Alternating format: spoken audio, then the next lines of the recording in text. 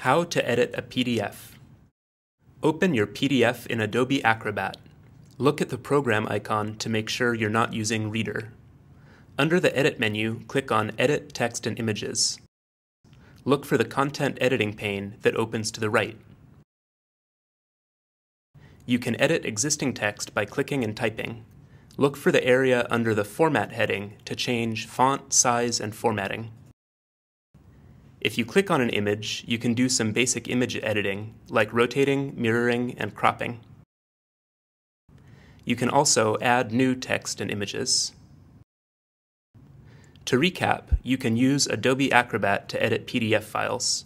Use the tools in the Content Editing pane to edit text and images, which you can open under the Edit menu under Edit Text and Images. Also, if possible, it's often better to edit the source document rather than the PDF. Good luck!